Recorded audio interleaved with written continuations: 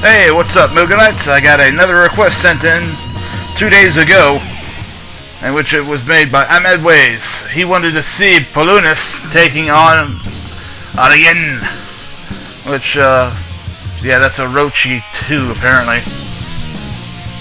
I don't know why his name displays like that, but anyways, on to the fight. I hope you all enjoy.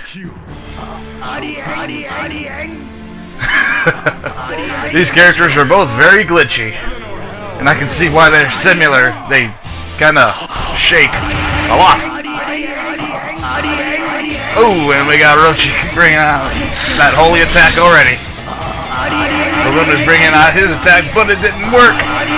Arien brings out the hypers time after time. He may just get this.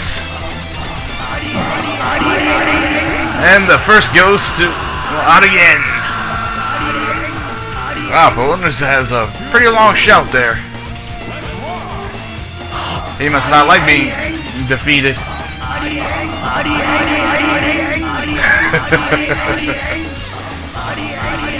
Pulunis is taking on a punishment. Oh! And there you have it. Arien wins. Well, I hope you enjoyed your request there, Amidweiz. And I have another one coming up next by Kira Honda. See you then, Muganites.